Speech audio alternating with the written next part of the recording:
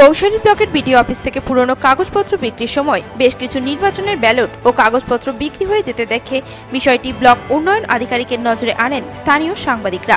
ততক্ষণে সেই সমস্ত কাগজপত্র বান্ডিল বেঁধে গাড়িতে তোলা হয়ে যায়। সাংবাদিকরা এই বিষয়ে প্রশ্ন করতেই তড়িঘড়ি গাড়ি থেকে সেই সমস্ত বান্ডিল নামিয়ে আবার গোডাউনে ভরে ফেলা হয়।